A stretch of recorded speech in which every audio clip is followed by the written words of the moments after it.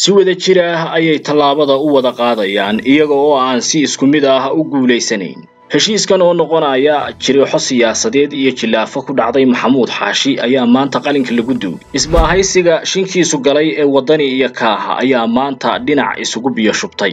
Dhinac ayuu guul u yahay heshiiskani halka uu dhinaca kalena gabaldhac u yahay.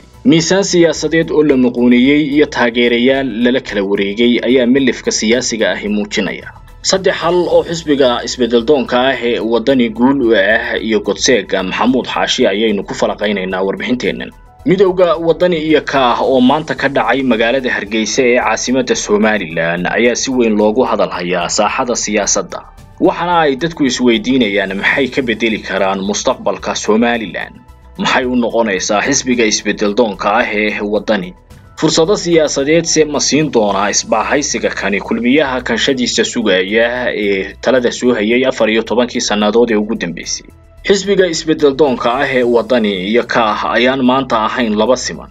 Ee waa xisbi qaran iyo urur siyaasadeed sugaya inuu yimaado halka uu haatan waddani joogo.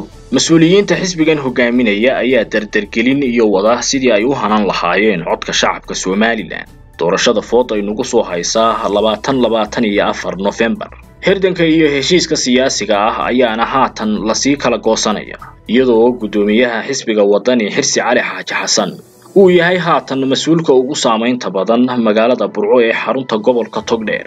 Oo go'aaminaysa guushu halka ay marayso iyo mustaqbalka siyaasadeed ee somalilan xirsi iyo xaashi ayaa sele damacyo siyaasadeed oo aan isqabanayn kuwaasi oo iskhilaafsan waxaana ay ku loolamayaan beesha bariga burco gudaheeda oo uu doonayo hogaamiye kastii inuu isagu muquuniyo isreebreebka siyaasadda ee somalilan oo uu xaashi muddo jookar ka soo ahaa ayaa maanta waxa uu muujinayaa in la muquuniyey taageerayaashiisiina ay u qaybsami doonaan laba.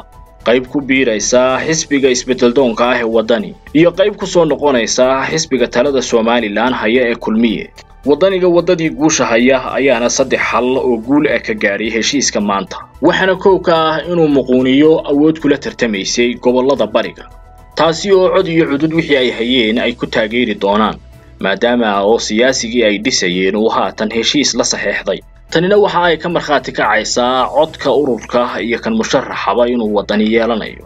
Lambar laba fasaqanka iyo isbedbeddelka xaashi ayaa guul kale uga dhigan xisbiga waddani qodobadan maanta lagu heshiiyeyna waxa ay kuwa jiraya oo hanaqaada yihiin.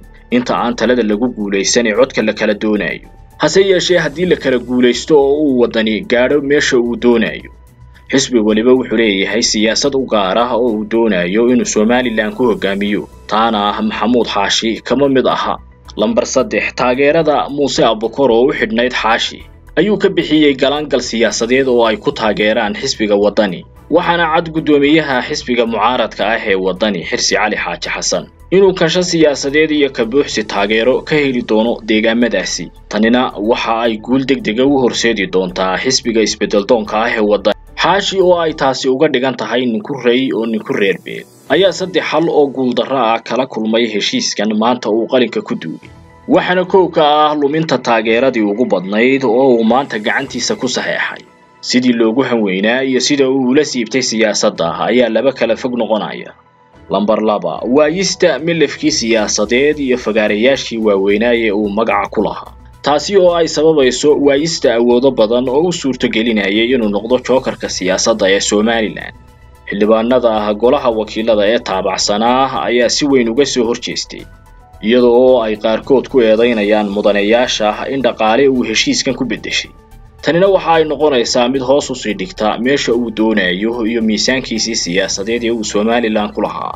Guddoomiye xirsi cali xaaji xasan oo hogaaminaya xisbiga isbeddeldoonka ah ee waddani rajo badanna ku qaba guusha labaatan labaatan iyo afar.